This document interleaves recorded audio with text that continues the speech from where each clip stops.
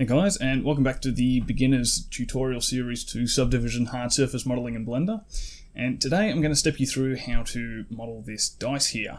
Uh, it might look a little bit complicated, a little bit daunting with all the circular uh, parts to it, but I promise we've got a fairly simple setup to get this up and going. Uh, and as always, you'll be able to find the reference images for this, uh, or actually more so in this case, it's a texture, uh, but in the resources section of my Discord server.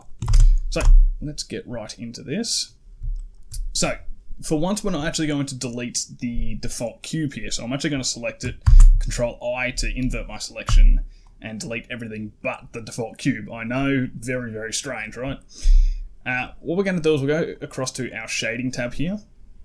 And if you just want to bring across the uh, uh, image texture that I was talking about before, the dice texture, where do I have it? Here. So what I've done is I've set this up so that it will map automatically to the UVs of the default cube. And just down in our properties here for our viewport shading, uh, let's just change this color to texture. And now we'll be able to see the texture on this cube. So we'll just go ahead and we'll duplicate this cube here. Uh, so now we've got cube and cube 001. And I'm just going to go ahead and remove the material from our duplicate cube so just to make it easier, I might actually just label these things. We'll go cube ref, and we'll call this one like cube model. Cool, so let's tab into edit mode here. We'll select everything with A, and then we'll just come down to edge over here, and we want to subdivide the mesh once. So once we've subdivided it, let's use Control R to add in two loop cuts here, and then hold down Shift and Alt to select the other loop cut that we added in.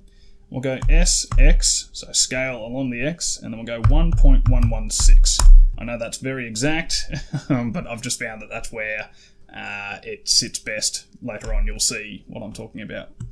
And so we'll just do the same, so we'll just add in another two loop cuts using Control R, Shift Alt and select SZ this time to scale along the Z axis, and 1.116. And then we just need a final set of loop cuts, so just Control R again, add that in, add that one in, Alt Shift, and select the other loop. SY to scale along the Y, 1.116. So what that's given us is a vertex position that's in the middle of uh, all of these uh, counters on each face, or roughly in the middle. We could have just subdivided the whole thing twice, and that would have given us a, like a grid-shaped layout I just don't personally like it. Uh, all of these look fairly square, they're fairly offset. Uh, I just think this looks a little bit nicer, but you're more than free to subdivide it uh, two or three times over instead if you would prefer. As I said, I just found this looks nicer. So once we've selected all of those verts, I'm just going to go 7 for a top-down orthographic view, and I'm going to press Control Shift and B to do a bevel on vertexes.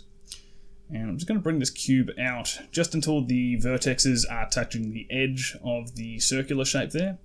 And then just scroll up on my scroll wheel once to add in a segment. I'll say enter. And if we just come down to this little panel over here, we're just going to change the shape to 0.1. And that roughly gives us a circular shape. Not perfect at the moment, but we can fix that up in a bit. So, you, at the moment you can see we're getting all this Z fighting between the two cubes. So let's just go ahead and let's just hide the cube ref because we don't need that at the moment. Now, a lot of this tutorial is going to focus on uh, topology management, not so much the actual topology itself, but how we select specific parts of the topology uh, and isolate various areas. Um, because we could go ahead and manually select all of the uh, counters here, but that's going to take a lot of effort and it'd be very repetitive and just get very monotonous and mundane very quick. So while we have all of this selected, what I want you to do is press Shift and H. Uh, that will just isolate our selections. And then let's just go ahead while in vertex select mode. Let's just select one of these middle vertices here, or vertexes. And we'll go Shift G to get select similar. And we'll go amount of connecting faces. So while we have these selected, let's just come over to our data panel over here. And we're just going to add in a vertex group. and we'll just go assign. Leave it called group or call it something else if you'd like. I'm just going to leave it as group for simplicity. And you'll see why we have that later on. It's just going to help selecting things. Come over to our modifiers and we're going to add in a subdivision surface modifier. And this isn't too important at the moment. I'm just using this for a reference as we're going to use Alt and S to scale or shrink and flatten, um, but push these vertices along their normal. So I'm going to pull this down. And I'm just using the subdivision surface here just so I can see what the curvature on the inside of the face counters looks like. So I'm pretty happy with that. I think that looks good. So I'm just going to turn the display of the subdivision surface modifier off for now. And then just using Alt H, we can unhide uh, everything that we hid before. So coming back to our data panel here, let's go ahead and select these vertex groups, and then we'll use Control and plus to increase our selection. And for the next step, I'm going to look down at the six-sided count, uh, as these ones are closer together, and we want to make sure we don't get any overlapping uh, in these next few steps. So I'm going to press I to do an inset, and then I'm going to press O so that the inset goes on the outside to create a boundary loop. And just make sure these aren't overlapping, so that's overlapping there, and that's going to cause a whole lot of problems. Just make sure that they aren't touching, just like that. And I'll press I again, um, and we'll press O again, just so that we do an inset that goes inside of the circular shape there. And I'll just quickly explain why we're doing this. So what I'll do, this is just an example here, you don't need to copy what I'm doing. So we have two identical looking shapes here, uh, but with different topology. So that, that is the difference here. Shape-wise, these are the same, topology is different, okay? And there's an important difference between these two. So this is what we have in our model at the moment, right? Where we have this little support loop on the interior of our counter shape.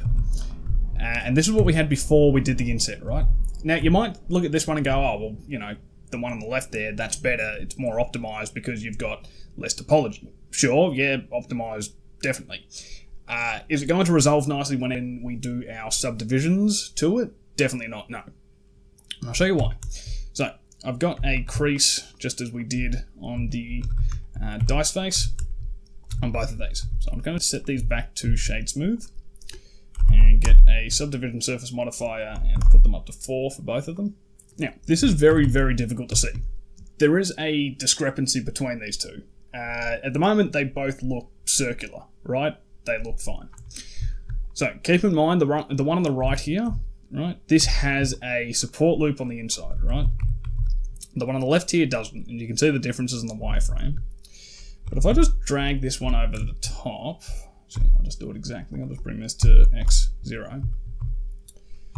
What you'll notice when we look at the wireframes here, right, I'm just going to full screen this, is the one that doesn't have the support loop, it's not perfectly circular, right? It may not look problematic, you know, next to each other like this but it's not perfectly circular. And if we allowed this to be the case for all the counters on all the faces of the die, you would actually pick it up. And I know this because this is what I did on my first attempt of it, and it doesn't look right. It, everything looks circular, but something in your head goes, hey, this doesn't look right. So it's not perfectly circular. Whereas the one with the support loop on the inside, and the support loop doing what a support loop should do, is adding more support to the outer edge and bringing it out to be a circular shape. So I just wanted to explain why uh, we were adding that into the middle there, as although these look almost indistinguishable from one another, they are different, and that interior loop does serve a purpose. Anyway, um, back to the modeling. Let's go ahead and select our vertex group here. We'll just Control plus twice, go Shift H, and what we're going to use this for is to add some creasing uh, to retain our shape as we are going to apply a subdivision surface modifier here.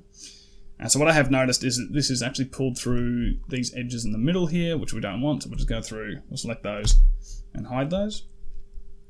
And then we'll select our vertex group again, and we'll just go ahead and we'll hide in vertex select mode, we'll hide those vertices, so now we're just left with the outer two edges. We'll just select one of these edges here, Shift G, and we'll go length, and then H to hide them. And now we're just left with the outer two loops. So we'll just go A to select everything, Shift E and 1. And that will make them a perfectly hard crease, uh, which we wouldn't normally do, but we're doing it in this instance because I want it to retain that shape after the subdivision surface. And then we'll do something similar here. We'll select one of these edges on the outside of the cube, Shift G. We'll go face angles. And now you'll notice that selected all these similar face angles on the outside of the cube. Shift E and 1. Cool. So let's come back to our modifiers panel here. And let's just go ahead and apply this subdivision surface. And now you'll notice we've got nice circular cutouts on each of the faces to represent the counters. So, and it's also done a lot of the heavy lifting for us, right? I don't think this is the most optimal resolution of topology here. The reason I'm not too worried about it is that all of these are flat faces, so we could have n-gons or triangles or whatever, and for the most part it would resolve just fine because these are flat faces. If it was a curved surface it would be a different story and we can get to that later down the track in this series, um, but for what it's worth, this is going to work fine because this is all quad based uh, topology here. It doesn't look particularly nice. We could spend a whole lot of time cleaning it up, um, but the amount of time we would spend cleaning up the topology versus the end result between this and a cleaned up version, uh, the difference would be negligible and it would just take more time. So I'm not going to bother about that today. Uh, but what we do want to do is we can do a little bit of optimization and cleanup here. We've now got this interior edge here, which we don't need, and it's a result of the subdivision, but it's not doing anything for us, right? It's not helping, it's just sort of in the way, and it's adding more uh, edges and verts and faces to our overall model. So what we'll do, we'll come back to our data panel here, and we'll select our vertex group. We'll go Control plus three times to select all of these counters, Shift H to isolate them. And what we want to do is, first and foremost, we want to figure out how to select all of these without doing it manually and dissolve them, get rid of them. So what we'll do, and we can actually do something in between times while we're doing this. So we'll select our vertex group, and with this selected, what I want you to do is we'll open up our N panel, we'll go to Tool, sorry, Edit, that's the second time I've done that, uh, edit, loop tools, and let's go circle. Go control plus once. We'll go circle again, control plus twice, and circle again. And that will just make, well, obviously, all of those edges more circular, just make everything look nicer. So let's select that vertex group again. Go go control plus, go to vertex select mode, and then H to hide all of those. We'll go back to edge select mode. We'll select one of these creased edges, Shift G, and we'll go crease. While we have all these creases selected, let's just go ahead Shift E and negative 1 to remove those creases. Go back to vertex select mode, H to hide, and then we're left with just all of these interior edges that we no longer want. So we can select them all, go back to edge select mode, and then using Control and X, that will dissolve them. Now if we press Alt H, bring it back, you'll notice we've successfully gone ahead and removed all of those interior edges that we didn't need, uh, and just cleaned up the topology just a little bit and quote unquote optimized it just a bit. Cool.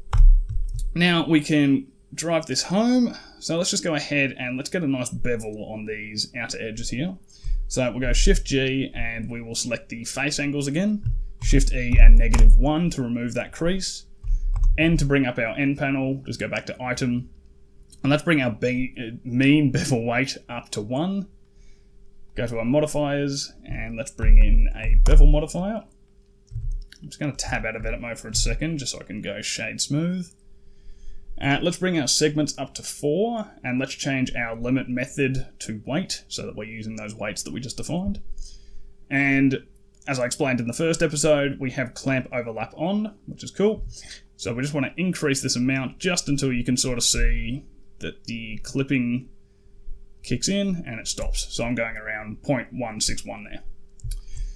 So there is a bit of a problem, and just to explain what's happening here, you can see these seams here, right? Which is pretty undesirable, it doesn't look nice. A solution for this, and it's not a good solution at all, is we could just go ahead and we could chuck in a subdivision surface modifier, crank it up to 4, you know, add more polys, and, you know, all of a sudden it goes away Problem is, it doesn't really go away, it's still there. And if you worked in a high poly to low poly workflow and you wanted to bake down a normal map, you would get a lot of errors, and these would actually shine back through in your baked normal map. So the problem is, is that we actually have overlapping faces. You don't need to apply the bevel modifier there, by the way. This is just an example.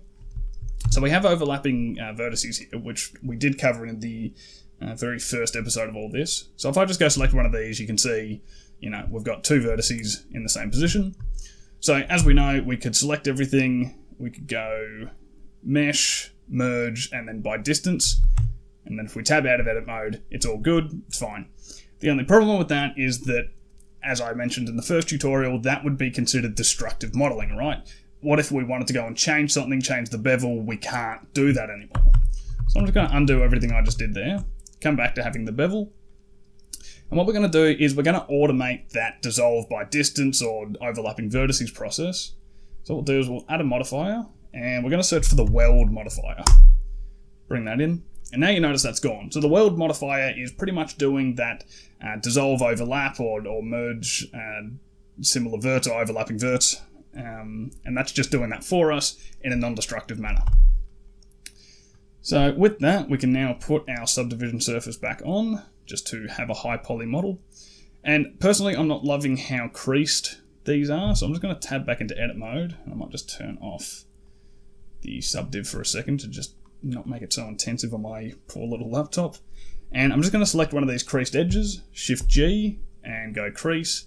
Shift E negative 1 to remove the crease, and then Shift E 0.55. Uh, sorry, Shift E 0.33 will be better.